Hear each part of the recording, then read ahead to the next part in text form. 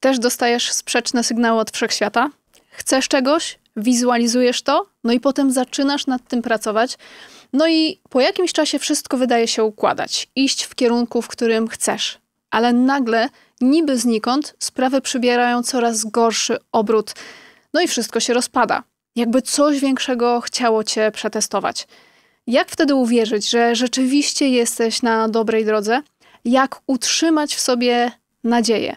No i też przede wszystkim tę świadomość i moc kreacji, skoro przecież zaczynasz mieć jeszcze bardziej pod górę niż przed całym tym rozwojem.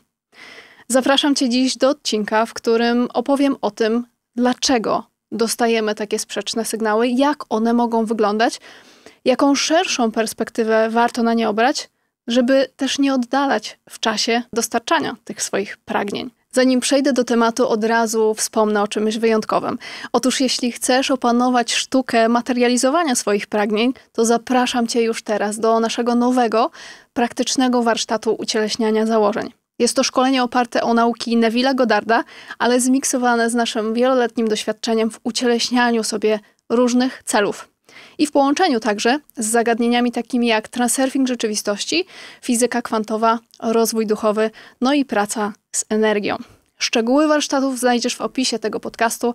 Z serca zapraszam, tym bardziej, że po kilku odcinkach podcastu właśnie w temacie prawa założenia dostajemy non-stop od Was komentarze, że ucieleśniacie sobie wejście na drabinę, no i chcecie więcej. Więc to jest ten moment. Sprawdź link w opisie poniżej. No i przy okazji cześć, jeśli jesteś tutaj po raz pierwszy. Ja mam na imię Honorata i razem z Sylwią na tym kanale i w podcaście Wysokie Wibracje uczymy ludzkim językiem o rozwoju duchowym, pomagając Tobie i innym odkryć potencjał, jaki drzemie w samym centrum naszego ludzkiego istnienia, czyli w naszych sercach. Dlaczego dziś będę mówić o znakach od wszechświata? Cóż, Dlatego, że w naszej zamkniętej grupie na Facebooku bardzo często dostajemy pytania mm, w stylu dziewczyny. Pracuję z tematem przyciągania w zakresie pieniędzy. Robię wasz kurs e, i na początku wszystko szło spoko. Do momentu, kiedy nie zaczęło się walić, więc nie wiem, co robię nie tak. Proszę o podpowiedzi. No i zazwyczaj, kiedy dostajemy tego typu pytania, no to rozumiemy po prostu, że taka osoba jest mocno w swojej głowie i jest też w jakiejś formie przywiązana, czy też ma opór wobec tego, co jest. No i kompletnie nie widzi tego większego obrazu. A trudne doświadczenia łatwo są w stanie takie osoby zniechęcić do dalszego próbowania. Dlatego dziś chcę ten większy obraz przedstawić i sprawić, mam nadzieję, dzięki temu, że żeby więcej osób sięgnęło głębiej świadomości o tym, dlaczego nasze pragnienia i cele nie spełniają nam się, powiedzmy, w taki łatwy, lekki i bezbolesny, ale dla ego sposób. Aż do momentu, gdy wejdziemy w przestrzeń serca. Widzisz, bardzo często tak się dzieje, że kiedy coś zaczyna być dla nas, chociaż trochę pod górę i robi się trudniej, i okazuje się, że jednak mimo, że jesteśmy już tacy połączeni z tą swoją duchową naturą i znamy troszkę te uniwersalne prawa wszechświata, no to jednak musimy dać z siebie więcej i włożyć wysiłek nie tylko w działanie, ale też w uzdrawianie swoich osłabiających wzorców. No i wtedy zamiast odczuwać i okazywać wdzięczność za to, że doświadczamy wyzwań i możemy się w nich poznawać właśnie w tej nowej odsłonie, to my się obrażamy, frustrujemy, krzyczymy, płaczemy. No i jakie to są zachowania? No to, to są zachowania małego dziecka. Dzieci nie wiedzą, czego dla siebie chcą, dlatego są pod opieką dorosłych. Innymi słowy, przez tego typu zachowania energetycznie tak naprawdę stoimy sami na drodze naszego ucieleśniania. Sami wchodzimy sobie w drogę, znów wracamy do tego ziemskiego, ludzkiego wymiaru i pokazujemy swoją energią nic innego jak to, że przecież jeszcze nie jesteśmy gotowi na otrzymanie i przyjęcie najlepszego. Ale zanim opowiem o tym więcej, dlaczego tak się dzieje, no bo mam tutaj znacznie więcej do przekazania, to najpierw zapraszam Cię do przyjrzenia się temu, jakie znaki możemy dostawać od wszechświata. Gdy będę o nich mówiła, postaraj się od razu odnosić je do swojego życia i znajdować u siebie przykłady sytuacji, w których rzeczywiście tak było, zwracając od razu uwagę na to, jaka była wtedy Twoja postawa, jaka była Twoja reakcja. pierwszy taki typowy znak od wszechświata, którym przecież ty jesteś, no bo każdy z nas jest wszechświatem, żyje we wszechświecie i ma w sobie ogrom wszechświatów. No więc pierwszy taki znak to taki, w którym to, czego chciałaś i chciałeś, objawiło ci się, czyli dostajesz to, ale po niedługim czasie to tracisz. No i tutaj przykładów może być wiele. Od przyciągnięcia sobie wymarzonej relacji, która po paru miesiącach jednak okazuje się być pełna toksycznych zachowań, po na przykład nową pracę i utratę tej pracy, po e, chwilowe polepszenie zdrowia i potem znów nawrót choroby. W takich momentach oczywiście, że siada nam poczucie własnej wartości, poczucie sensu, zaczynamy kwestionować wszystkie dotąd poznane e, być może rozwiązania czy metody i także ludzi, którzy nam te rozwiązania po drodze przedstawili. Ale przecież nie możemy zapominać o tym, że świat i ludzie to zawsze jest odbicie tego, w co wierzymy na swój temat.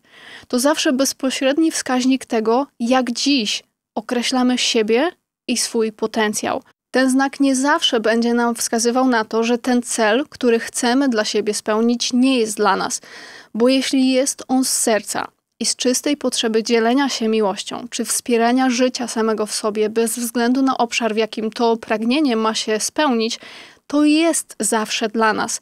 Ale w takim wypadku, gdy coś przyszło, a potem odeszło, i nieważne w jaki sposób odeszło, czy przez nasze niefortunne decyzje, czy przez czyjeś inne decyzje, czy przez nasz brak zdolności wybaczenia, nawet sobie z przeszłości, no to musimy wziąć pod uwagę, że dzieje się tak dlatego, że sami siebie sprawdzamy. Czyli z poziomu naszego wyższego ja, sami dla siebie przygotowaliśmy to doświadczenie. To doświadczenie straty, jako sprawdzenie naszej gotowości. Jest to po prostu dla nas podpowiedź, że skoro tak łatwo coś się nam objawiło, to znaczy, że mamy ogromną moc ucieleśniania, ale z dużym prawdopodobieństwem zabrakło nam gdzieś po drodze wiary, że to już jesteśmy my w jedności z tym, co przyszło. Przeanalizuj więc sobie sytuacje, w których szybko coś ucieleśniłaś, a potem to odeszło. I zobacz, czy rzeczywiście nie było tak, że na przykład, kiedy pragnęłaś miłości, to byłaś miłością, owszem, wobec tej osoby, ale wobec samej siebie czy innych ludzi poza waszym maleńkim świadkiem już miłością nie byłaś. Lub też, czy rzeczywiście byłaś zdrowiem, w pełnym jego przejawie, nie tylko zdrowo się odżywiając, biorąc suplementy, ale też uwalniając emocje i przykre historie z przeszłości. Kolejny znak to taki, kiedy dostajemy różne przeszkody i wyzwania na drodze ucieleśniania pragnień, kiedy właśnie non-stop przy kolejnej próbie i podejściu w działaniu okazuje się, że mamy coraz bardziej pod górę. Jak dostajemy takie znaki, no to już na pewno jest dla nas informacja, żeby zawrócić, prawda? Że ten cel czy pragnienie nie są dla nas. No nie, to nie jest nigdy takie 100%. I to też jest zresztą moja i Sylwii historia, kiedy zaczynałyśmy tak obszerniej i odważniej mówić o rozwoju duchowym. Zanim tak było, no to uczyłyśmy jeszcze innych o marketingu i biznesie. I wtedy wszyscy nasi klienci mieli lepsze efekty od nas samych. Zarabiali dzięki naszym wskazówkom i mentoringom więcej niż my, robiąc dokładnie to samo w zakresie strategicznym i taktycznym, co my robiłyśmy wtedy. No i co wtedy z tym zrobiłyśmy?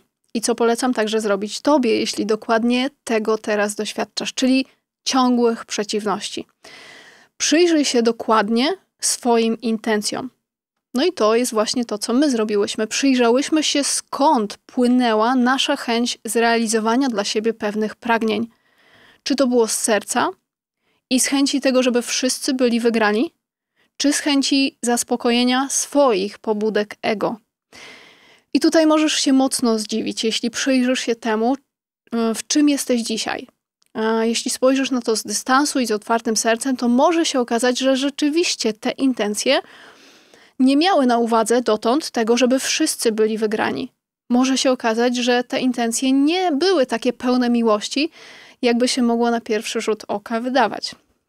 Więc to jest jedna sprawa, że warto się przyjrzeć e, właśnie intencjom w takich przypadkach. Inna jest taka, że skoro Twoje pragnienia i aspiracje są sięgające daleko ponad to, kim jesteś dziś mentalnie czy emocjonalnie, no to zobacz, naturalnym jest przecież, że będziesz doświadczać wyzwań, bo sięgasz tematów i decyzji i działań, w których nie znasz siebie, które są dla ciebie nowe. I tak, to też dotyczy każdej sfery życia, także na przykład tego obszaru ucieleśniania sobie relacji z drugim człowiekiem. Jeśli masz tę osobę przy sobie, która dawno temu była dla ciebie wymarzona, a dziś patrzysz na tego samego człowieka i jedyne, co w sobie odczuwasz, to niechęć, to też jest kwestią intencji i przyjrzenia się temu, z jaką intencją wchodziło się w tą relację, a potem z jaką się ją obecnie buduje, czy też z jakiej intencji przestało się tę relację rozwijać. I widzisz, musisz doświadczyć wyzwań, bo gdybyśmy ich nie mieli na tej swojej drodze urzeczywistniania, no to od razu dostawalibyśmy to, czego dla siebie chcemy. No i w ogóle byśmy się wtedy nie rozwijali. A świat, no cóż, pogrążyłby się w chaosie.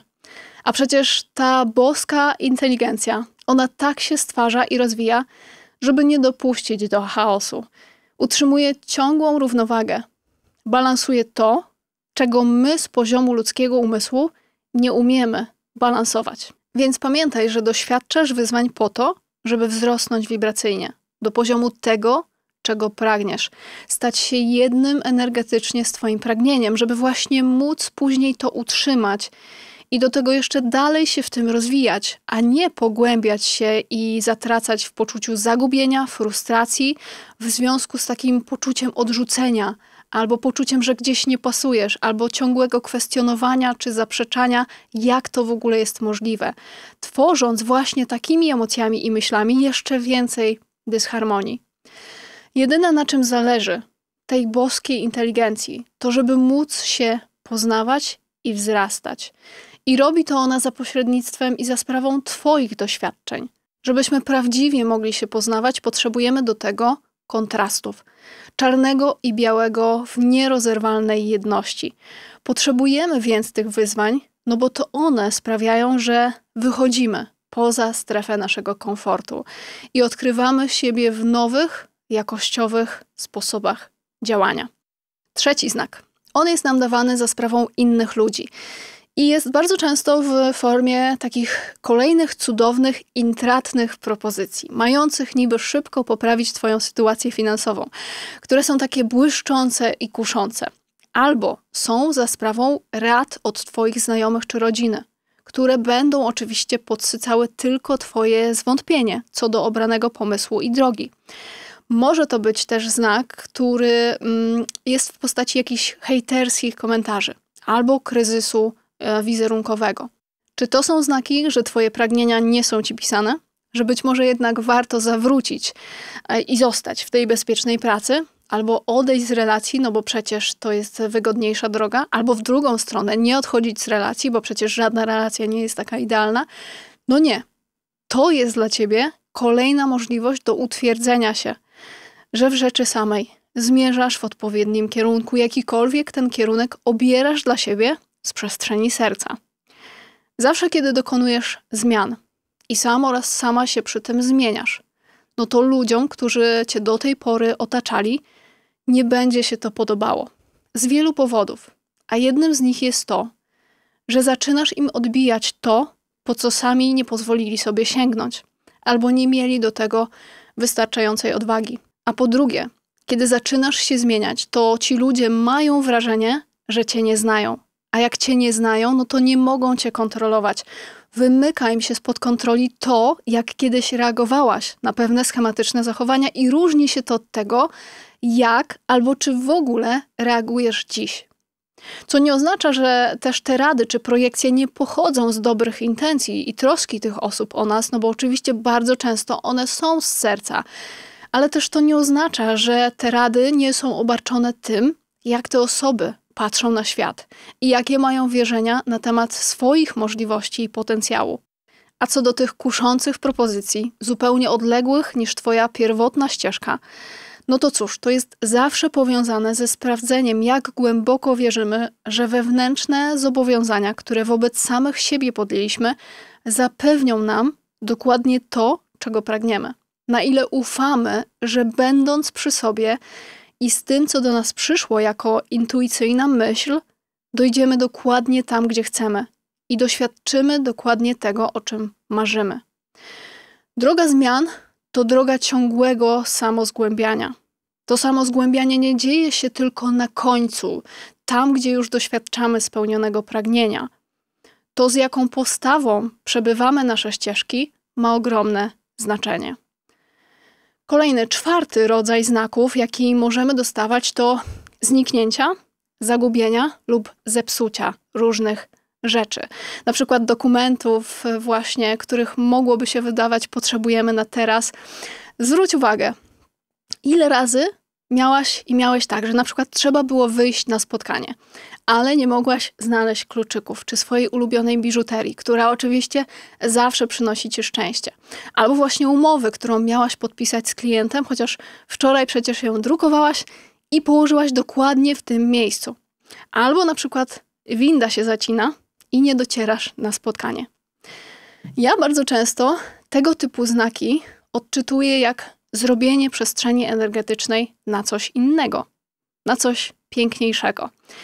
I czasem te znaki mogą przychodzić w takiej mniej przyjemnej postaci, na przykład właśnie rozpad jakiejś relacji.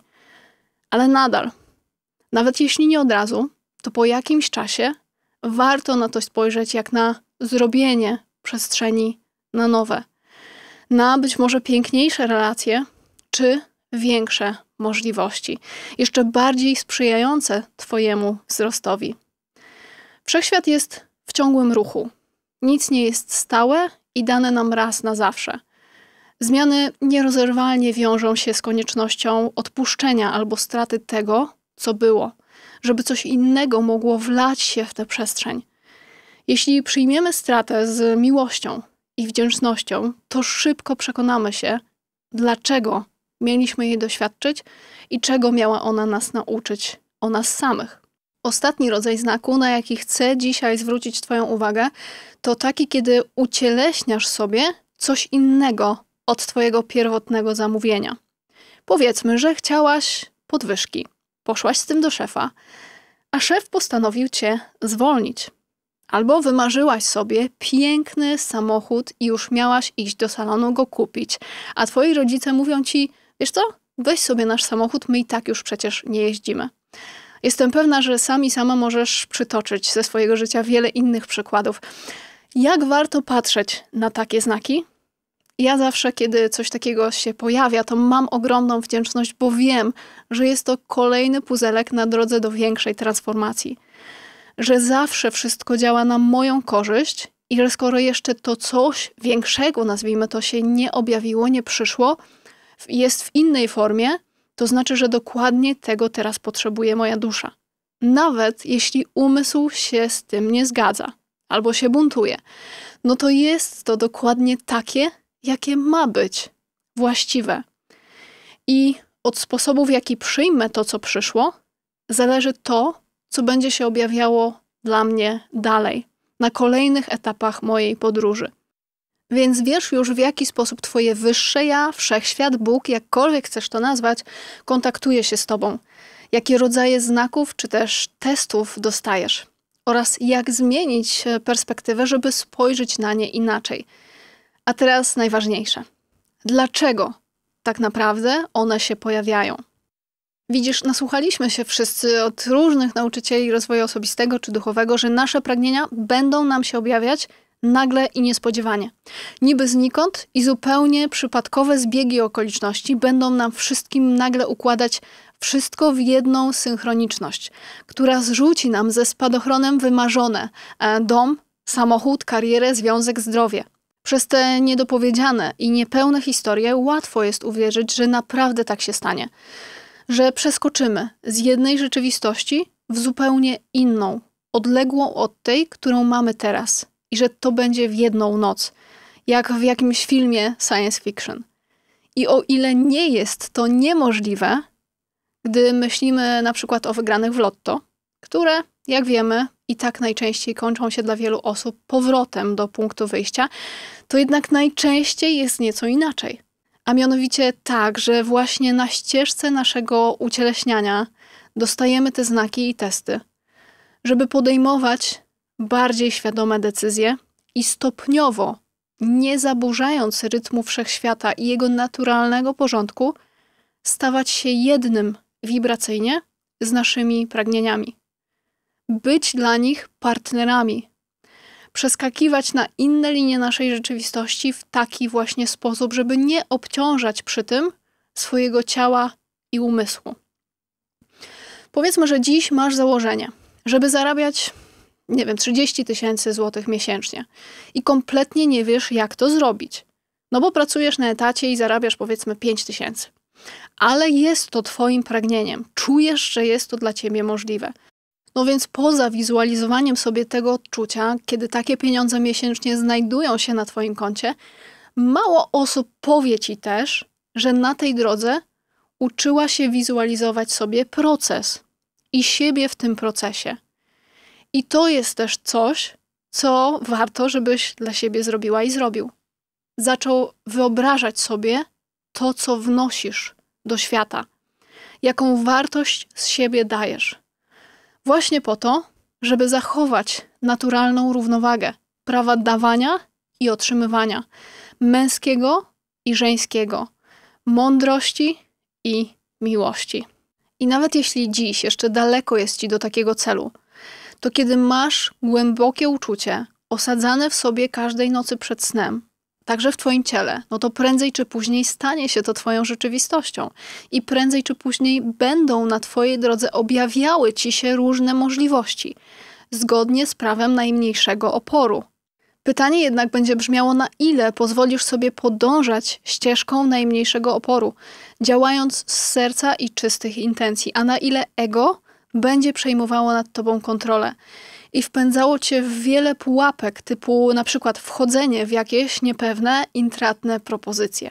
Ucieleśnianie, czy też materializowanie sobie pragnień, czy przyciąganie, jakkolwiek jest to nazywane przez różne osoby, ucieleśnianie to tak naprawdę proces sprawdzający poziom naszej integralności.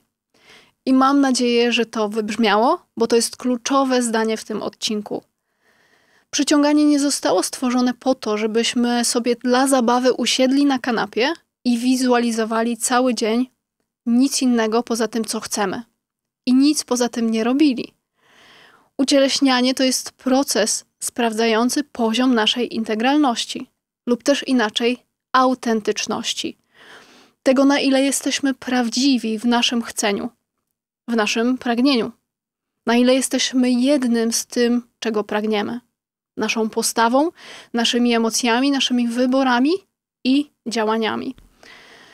To tak jakby wszechświat przez te różne przeciwności, czy też nasze wyższe ja, jakkolwiek chcesz to nazwać, tak, pytało nas: hej, czy Twoje pragnienie jest nierozerwalnie połączone z tym, kim naprawdę jesteś?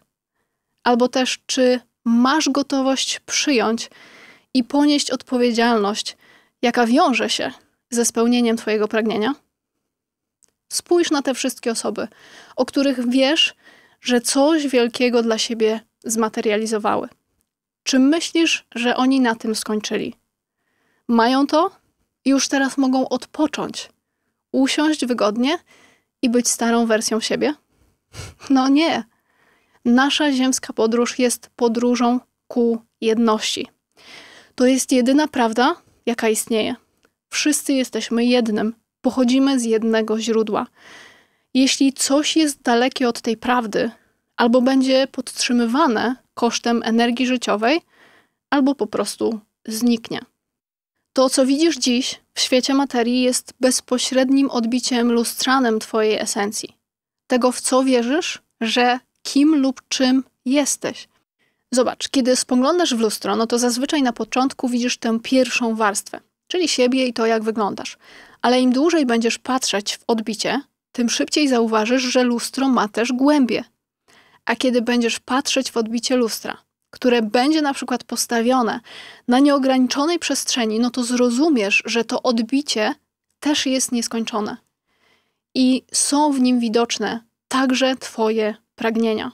Lustro to bezpośrednia metafora naszego istnienia i jednocześnie główne założenie prawa wibracji, czy też prawa przyciągania.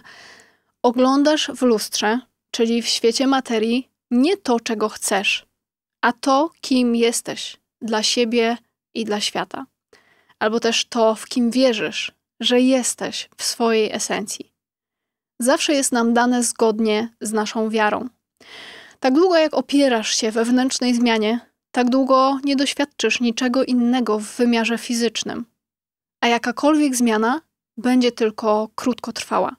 I właśnie po to, żebyśmy mogli tej trwałej transformacji dokonać, to na naszej drodze pojawiają się testy i sprzeczne sygnały od wszechświata, Boga czy też naszej wyższej jaźni.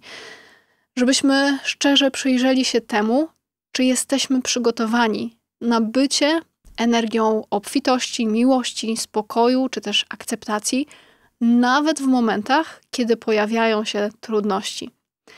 I tu też ujawnia nam się od razu drugi powód, przez który doświadczamy tych różnych wyzwań na ścieżce ucieleśniania. Widzisz, kiedy zaczynasz się zmieniać, na powierzchnię zaczynają wychodzić wszystkie Twoje ograniczające przekonania. Z jednej strony uczysz się o potędze umysłu i serca i zaczynasz przyjmować, jak działa energia, a z drugiej strony ten sam umysł nabija cię w butelkę i sprawia, że się sabotujesz. Doświadczasz więc sprzeczności i paradoksów oraz wielu konfliktów wewnętrznych. Niektórym ten etap sprawia tyle problemów, że nie są w stanie go przejść i przezwyciężyć, bo górę bierze ego, także to duchowe, które chce utrzymać wszystko po staremu, które nie chce umierać i nie chce odpuszczać przywiązania czy też oporu. Można powiedzieć, że proces ucieleśniania, poza tym, że sprawdza naszą integralność, jest też procesem umierania ego i rodzenia się Twojego prawdziwego ja. I to naturalne, że Twoje stare, niższe ja nie będzie chciało tak łatwo odpuścić. Będzie broniło swojej pozycji i swojej przestrzeni. Tak jak zwierzę, które jest skupione tylko na przetrwaniu, na polowaniu czy na prokreacji, tak samo będzie się zachowywało Twoje ego, non-stop będzie ci podsuwało argumenty, przez które masz przestać wierzyć, że jest w ogóle możliwa inna wersja ciebie. Będzie kazało ci reagować na zewnętrzne okoliczności, no bo ono wierzy, że to jest jedyna istniejąca rzeczywistość i że nie ma w ogóle czegoś takiego jak pole nieograniczonych możliwości, czy też inne wymiary albo warianty. Zwyczajnie ego będzie sabotowało Twoje wybory i decyzje, próbując podważyć wszystko, co będziesz robić z serca i z miłości do siebie czy do innych ludzi, określając to jako nieopłacalne. I to jest taki moment, w którym wiele osób wchodzi w regres i zapomina o tych dokonaniach i skokach kwantowych, które już zrobiło, albo w ogóle ich nie dostrzega i tym samym nie docenia. Stąd już niedaleko do wejścia w stare schematy i sposoby myślenia i działania. Co możemy dla siebie zrobić, żeby wyjść ponad programy umysłu? Cóż, znacznie więcej powiemy o tym podczas praktycznego warsztatu ucieleśniania założeń, do którego oczywiście Cię zapraszam ponownie e, i szczegółowy opis znajdziesz w linku pod tym odcinkiem. Ale jeśli w skrócie miałabym Ci odpowiedzieć to, co ja zazwyczaj robię w takich momentach, to jest to, że w pierwszej kolejności zawsze opiekuję się swoimi trudnymi i niewygodnymi emocjami, które pojawiają się, kiedy ego zaczyna działać. No bo ego to przecież mechanizm umysłu funkcjonujący w najniższych częstotliwościach, od poczucia winy i wstydu do dumy i próżności, kiedy mówimy o mapie świadomości stworzonej przez Davida Hawkinsa. Dlatego od razu, kiedy pojawia się we mnie jakiś rodzaj, powiedzmy, smutku, lęku, żalu, złości, niechęci czy zwątpienia, to wiem, że to jest ego. Ale teraz największym błędem, jaki popełnia większość osób w takich wypadkach, jest dyskutowanie ze swoim ego i szukanie argumentów albo wewnątrz siebie, albo od rad innych ludzi, albo przez analizę umysłową, ale nie tędy droga, moi drodzy. No bo ego to nie jest żaden byt, który my możemy lubić albo przeciągnąć na swoją stronę, albo się z nim kłócić. To jest zwyczajnie bezosobowy, automatyczny mechanizm umysłu. Sposobem na ego jest zawsze w pierwszej kolejności zaopiekowanie się sobą w trudnych emocjach i pozwolenie im przepłynąć. bez dyskutowania, naprawiania się w danym momencie, czy bez wypierania tych emocji.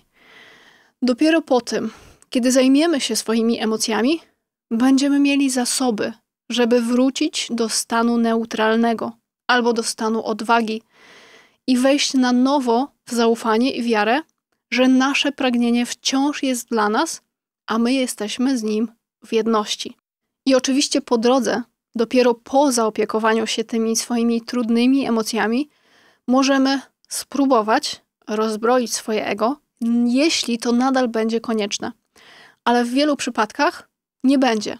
I o tym też będziemy mówiły na warsztatach ucieleśniania założeń. Rzecz w tym, że osoba, która wie, że może na siebie liczyć, mająca siebie zawsze przy sobie, kiedy pojawiają się trudne emocje, zaczyna zupełnie inaczej reagować na pojawiające się trudności i przeciwieństwa. Pojawia się w tym pewna forma poczucia bezpieczeństwa i obfitości. Reakcja z poziomu Twojego nowego, czy też wyższego ja, które wie, że na każde wyzwanie są co najmniej trzy dostępne rozwiązania. Więc wiesz już, w jaki sposób z poziomu swojego wyższego ja sprawdzasz się i testujesz, wysyłając sobie różne znaki i sygnały. Wiesz przede wszystkim też, dlaczego tak się dzieje i dlaczego nie wszystko od razu łatwo nam się spełnia, przynajmniej kiedy patrzymy na to z ego. Nie pozostaje mi nic innego, jak na koniec tego odcinka zapytać Cię, jak zareagujesz następnym razem, kiedy życie ześle Ci sprzeczne sygnały. Życzę Ci, żeby to już było z nowego poziomu świadomości. Dziękuję Ci za dzisiejszy wspólny czas. Do usłyszenia w kolejnym odcinku podcastu Wysokie Wibracje.